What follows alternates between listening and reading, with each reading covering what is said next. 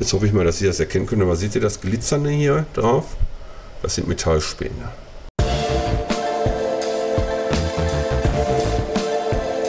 Hallo und herzlich willkommen zu diesem neuen Video und heute ja etwas leichte Kost und zwar machen wir an einem 2 Liter TDI den Kraftstofffilter. Ja, Kraftstofffilter solltet ihr wechseln. Gerade der Diesel ist so ein bisschen allergisch, was Wasser anbelangt.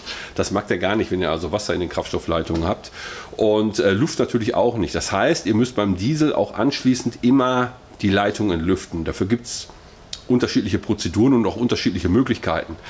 Ihr könnt das, äh, das zeige ich euch gleich, welche Möglichkeiten mir da so zu einfallen.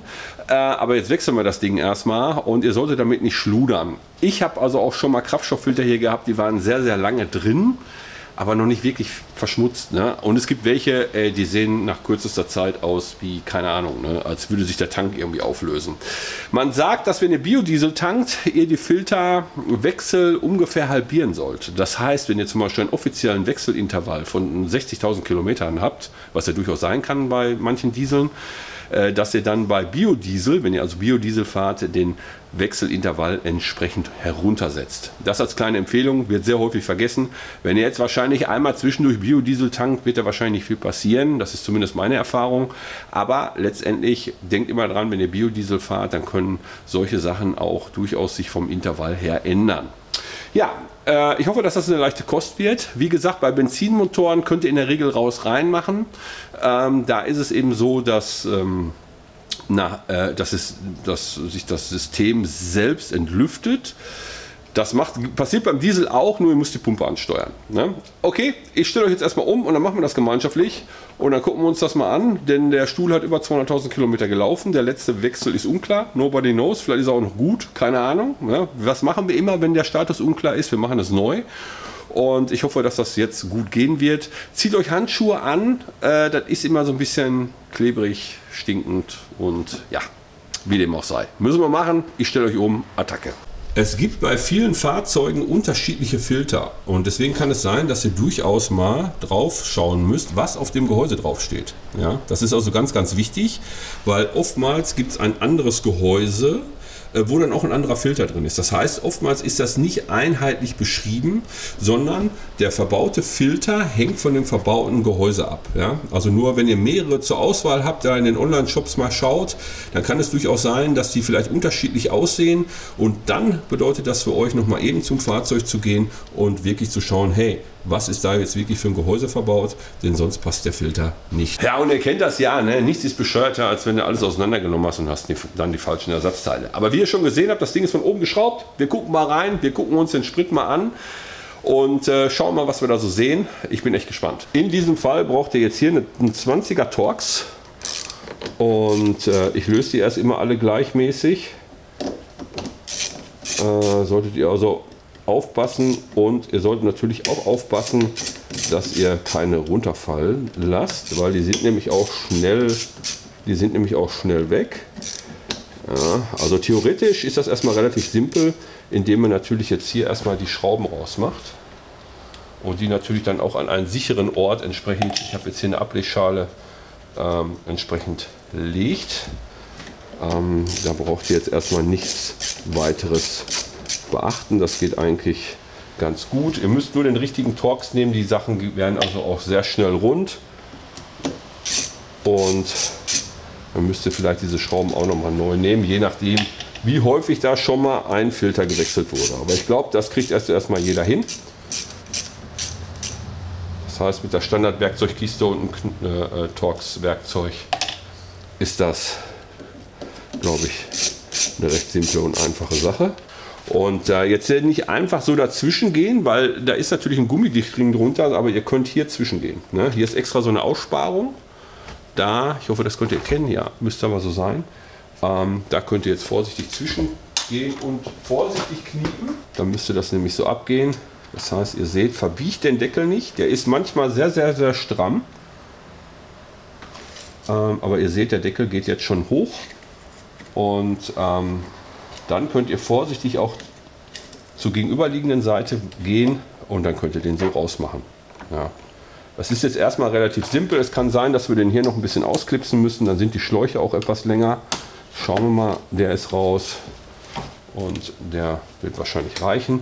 Die Schläuche könnt ihr in der Regel dran lassen. So, und jetzt geht der Schlauch oder der Filter schon ab. Ihr seht also, ich würde das jetzt nicht ganz so weit nach hinten knicken, damit das Ganze nicht abbricht, aber ihr müsst natürlich jetzt schon zusehen. So, da müssen wir ein bisschen zur Seite machen. Äh, und ihr seht natürlich, dass das Ganze natürlich schon ein bisschen stinkt. Und jetzt können wir den Filter rausnehmen. Und das ist leider immer so ein bisschen Schmiererei. So, und deswegen müssen wir uns als erstes, bevor wir den jetzt rausholen, auch so ein Schälchen holen. Ja, damit wir den nämlich dann da rein reingeworfen bekommen, weil wenn der tropft, das stinkt immer alles. Und ihr seht zum Beispiel auch hier, dass da kleine Späne drauf sind. Das ist leider normal. So, das ist schon mal. So, jetzt müsst ihr ein bisschen warten, dass der leer läuft. Und zack hier rein. Jetzt hoffe ich mal, dass ihr das erkennen könnt. Aber seht ihr das Glitzernde hier drauf? Das sind Metallspäne. Man sieht also, dass er schon irgendwo Verschleiß hat. Ne? Und wenn das der Filter oftmals so schwarz ist, kann dem Biodiesel geschuldet sein. Aber oftmals ähm, sind auch die Injektoren etwas undicht. Und dann wird der, ähm, na, wird der Filter einfach schwarz, weil das ein bisschen mit Motoröl kont kontaminiert ist. Ne? Aber ihr seht, aber da können wir jetzt nichts dran machen, aber ihr seht trotzdem, dass ihr da so kleine Späne habt. Aber so, das sieht für mich jetzt noch ganz gut aus. Erste Sahne ist das natürlich jetzt nicht, aber da würde ich jetzt erstmal keine Panik schieben. Gucken wir mal hier rein. Das werden wir natürlich jetzt komplett leer saugen, aber ihr seht, da sieht es erstmal nicht so aus, als würde da jetzt viel Dreck drin rumschwimmen. Also der Filter hat seine, seine Leistung über die Jahre nicht verloren. Das sieht gut aus. Und das saugen wir jetzt erstmal ab und leer. Ja, der Stuhl hat jetzt über 230.000 gelaufen und da ist es natürlich schon mal so, dass da der Verschleiß nun mal da ist. Ne? Und äh, äh so eine Pumpe, die natürlich aus Metall besteht, die ist ein Common Rail Diesel, was bedeutet, je schneller ihr oder je höher ihr den Motor dreht, je höher wird der Druck ähm, von der Einspritzpumpe. Und ähm, ja, dann habt ihr natürlich dann immer so einen, so, einen, so einen, metallischen Abrieb. Also da hätte ich jetzt so gesagt, das ist noch normal.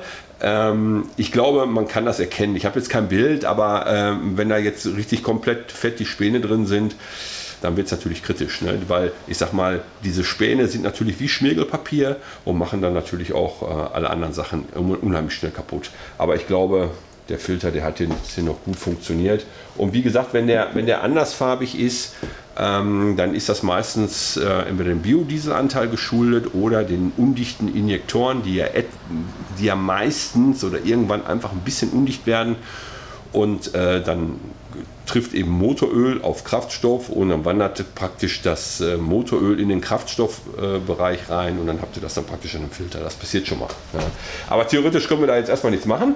Und äh, ja, jetzt geht es weiter. Wir saugen das jetzt mal eben ab. Dafür habe ich natürlich hier meine, meine Absaugpumpe. Der Schlauch ist mittlerweile schon steinhart, aber das hilft trotzdem. Das heißt, wir machen das Ding jetzt richtig leer.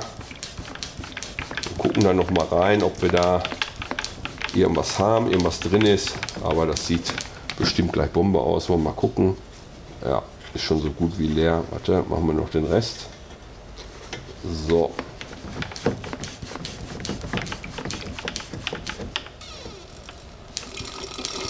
So. Jetzt haben wir das leer. Ja, ich äh, putze das jetzt immer noch ein bisschen aus. Achtet darauf, dass ihr da nicht so einen fuseligen Lappen nehmt. Also je sauber ihr da arbeitet, je besser ist das Ganze. Ähm, aber letztendlich geht es natürlich darum, das ganze Gehäuse natürlich dann auch irgendwo so ein bisschen sauber zu machen, bevor wir den neuen Filter reinsetzen. Oftmals durchs Rausziehen des Filters plumpst der Dreck natürlich runter. Ne? So, dann machen wir auch mal eben. Dann legen wir mal hier rein. Und deswegen zieht euch der Handschuh an. Und äh, ich putze das immer aus. Dann seid ihr wenigstens wirklich sicher, dass ihr den ganzen Dreck da raus habt. Und dann ist doch gut. So. Aber ihr seht, hier sind keine Späne drin. Ja, wenn ihr euch das jetzt mal anschaut, das sieht eigentlich noch ganz gut aus. Das heißt, das, was auf dem Filter war, war so ein bisschen das Einzige. Als nächstes ist auch hier ein Dichtring drunter. Ähm, mal gucken, wahrscheinlich ist der Schraubenzieher jetzt ein bisschen zu groß. Theoretisch braucht ihr da einen relativ klein.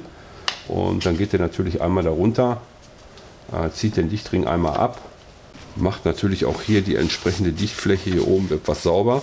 Also ihr seht, der dichtet also quasi über den Dichtring ab.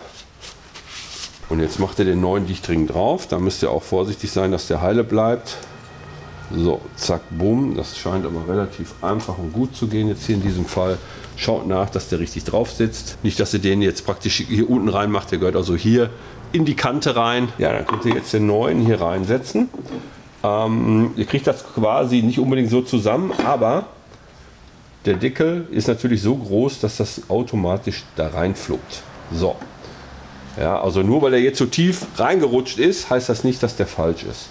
Und jetzt geht es darum, den Deckel natürlich wieder anzusetzen. Also vielleicht nochmal gleich als, als Zwischenbemerkung, wenn ihr die Möglichkeit habt, das heißt, ihr habt irgendwo noch einen Liter Diesel irgendwo rumstehen, äh, dann könnt ihr das Gehäuse auch vorfüllen.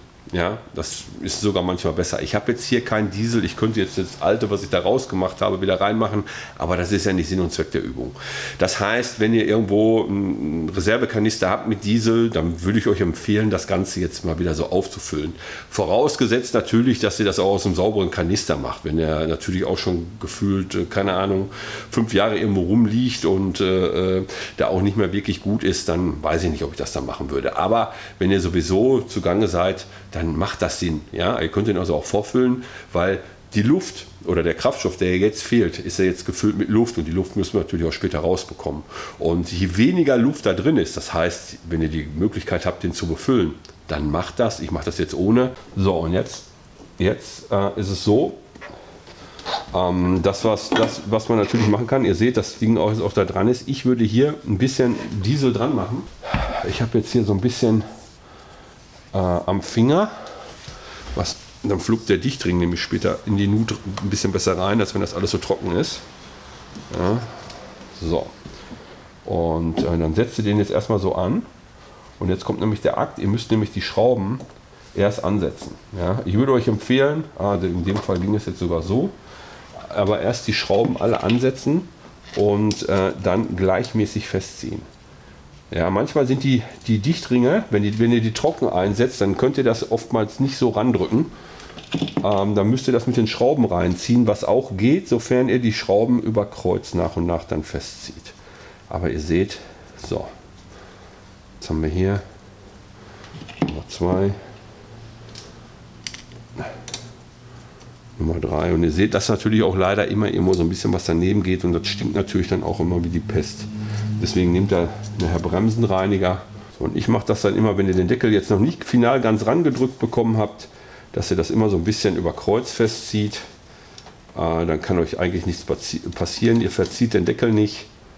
Und äh, ja, das mache ich jetzt mal eben. Also das ist jetzt auch eine Sache, die glaube ich recht simpel und einfach ist. So, wenn ihr das so gleichmäßig über Kreuz macht. Dann benutze ich jetzt hier in dem Fall keinen Drehmoment, sondern ich mache das jetzt hier aus dem, aus dem Handgelenk. Ihr wisst ja grob, wie fest die Schrauben waren. Und äh, ich ziehe die jetzt hier so quasi aus dem Handgelenk fest. Das ist so ein Blechdeckel. Da solltet ihr ein bisschen vorsichtig mit umgehen. Aber wichtig ist, dass ihr alle Schrauben äh, festzieht. Und natürlich dann auch, dass der Deckel gleichmäßig reingedrückt ist. So, das ist auch nochmal einmal final in eine Runde. Eins, zwei, drei, vier und fünf. Vorher müssen wir die Schläuche noch ein bisschen reinklipsen. Und natürlich gleich auch hier alles sauber machen. Ja, und jetzt wie gesagt, ähm, der, der, Diesel, der Diesel muss jetzt raus. Und jetzt können wir natürlich nur schauen, äh, wie kriegt man das jetzt raus. Und da solltet ihr eben darauf achten, bei vielen Fahrzeugen gibt es dann eine äh, gewisse Entlüftungsprozedur. Ja, letztendlich muss die Kraftstoffpumpe, die im Tank ist, angesteuert werden. Ihr habt ja die Vorförderpumpe im Tank und die Comrel-Pumpe vorne am Zahnriemen. Und was da das, was wir jetzt gemacht haben, ist ja, dass äh, der ungefilterte Kraftstoff ja quasi durch die Vorförderpumpe äh, durch den Filter und dann zur Comrail äh, Einspritzpumpe gefördert wird. Und da ist jetzt Luft drin. Und die Luft muss raus. Und das bedeutet jetzt, äh, dass wir uns was jetzt überlegen müssen, wie kriegt man jetzt die Luft raus? Das heißt, es gibt zum Beispiel bei vielen Fahrzeugen, wenn ihr die Tür auf und zu macht, denkt das Auto für euch mit und sagt, ach so, ihr wollt jetzt losfahren und äh, könnt also praktisch das über mehrfaches Türen öffnen und schließen, das dauert allerdings immer ein bisschen, das Kraftstoffsystem entlüften. Was passiert? Ihr macht die Tür auf, das Auto denkt, aha, der will jetzt schon mal losfahren, ich baue schon mal Systemdruck auf. Ja, das geht. Allerdings müsst ihr dann natürlich auch immer ein bisschen warten, denn der Druck ist aufgebaut und äh, ihr könnt es also nicht Tür auf, Tür zu, Tür auf, Tür zu machen. Ihr könnt das Kraftstoffpumpenrelais, wenn ihr wisst, wo es ist, überbrücken. Geht auch. Ja? Oder wir schauen mal, ob es eine Prozedur gibt. Andernfalls machen wir das über die Stellglieddiagnose. Das kann vielleicht ein Tester, äh, äh, dass du dann sagst, okay, über Sonderfunktionen oder was auch immer, kannst du die Kraftstoffpumpe im Tank ansteuern. Das heißt, ich schaue jetzt mal nach, ob wir die Möglichkeit haben, die Kraftstoffpumpe über die Stellglieddiagnose anzu, ähm, anzusteuern. So, in diesem Fall gehen wir über den äh, Betätigungstest und äh, wir schauen jetzt mal nach, was wir ansteuern können. Äh, Relais für Zusatzwasser. So, gucken wir mal. Betätigen. Starten. So, habt ihr das gehört? Ich mache das jetzt da. So, das machen wir jetzt einfach ein paar Mal. Und jetzt wird praktisch der Kraftstoff vom Tank aus wieder in das Filtergehäuse gepumpt.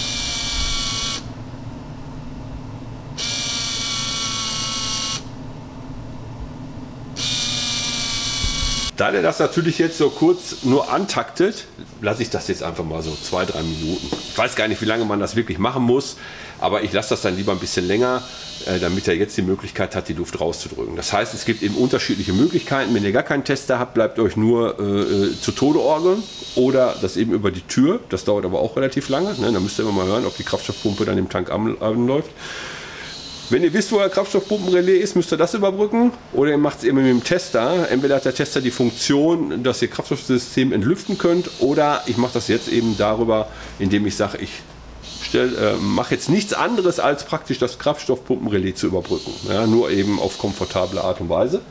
Und ja, ich lasse das jetzt noch mal so ein bisschen und dann schmeißen wir den Hobel an. Ich habe jetzt einfach mal aufgehört, stelle ich jetzt um, drehe den Schlüssel um und dann müsste er laufen. Er dürfte jetzt vielleicht noch einmal ein bisschen zucken, aber äh, ähm, dass er jetzt äh, komplett zusammenbricht und ihr dann dadurch vielleicht auch nochmal Fehler im System dürfte jetzt eigentlich nicht passieren.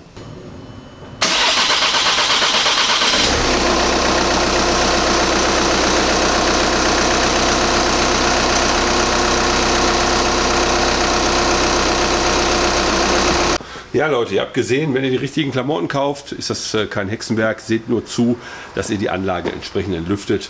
Und äh, ja, theoretisch war es das schon. Ja. Ich sage vielen Dank fürs Zuschauen und vielleicht sehen wir uns im nächsten Video, wenn ihr Bock habt. Und äh, ich sage bis dann. Ne? Ciao, ciao.